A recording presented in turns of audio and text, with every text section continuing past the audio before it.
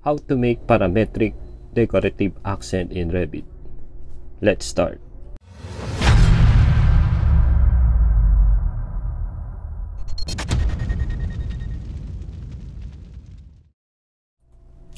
Open the Revit. Open a new family. Select metric generic model. Open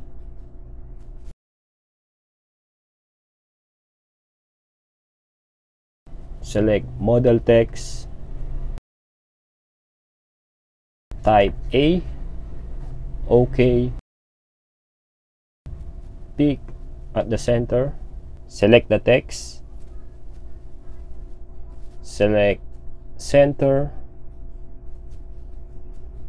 Text. Pick the button. Create new parameter type style. Okay? Okay. Material and finishes pick the button create new parameter type finish. Okay? Okay. Depth pick the button new parameter type thickness. Okay? Okay. Edit type. Rename the type. Name it decorative accent. Okay? Text size pick the button. New parameter type height. Okay okay apply okay go to 3d family types. Change the thickness to 20 change the height to 300 apply. Finish pick the button. Go to material library. Select AEC materials. Select the wood. Select the oak white. Add materials. Right click and rename the materials to oak white. Accent. Okay apply. Okay. Select the realistic. Family types. Create a new type. Name it A. Okay. Apply. Create new type. Name it B. Okay. Style. Type B. Okay.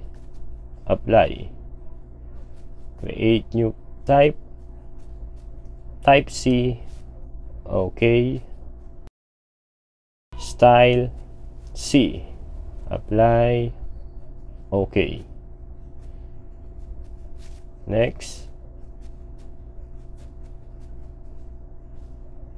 save the family go to desktop.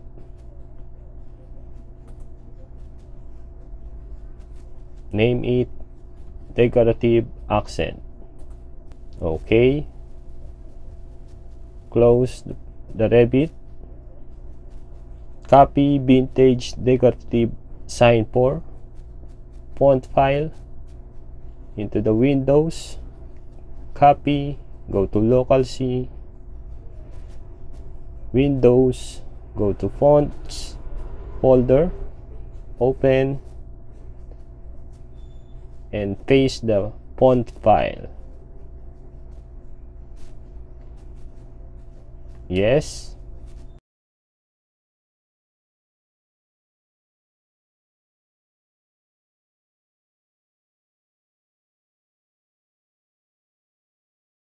Close the folder go back to the family. Select the text. Edit type. Text font. Select the loaded font. Select the vintage negative sign for. Apply. Okay next go to family types select A apply. Select the B. Select the C. Now let's create a new type. Type D style. Type D okay apply. New type. Type E style. Type E apply then new type type F type F okay. New type type K style type K okay. Apply select type C apply change the height to 400 millimeter. Apply thickness. Change it to 50 apply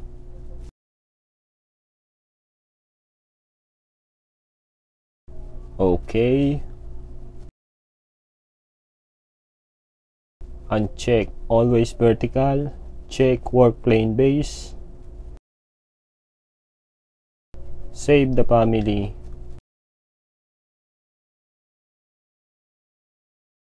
Then let's open the sample project.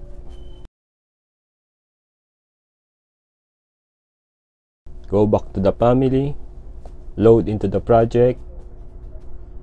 Select place on face. Pick on the wall select type B pick on the wall select type C select type D pick on the wall. Done. Thank you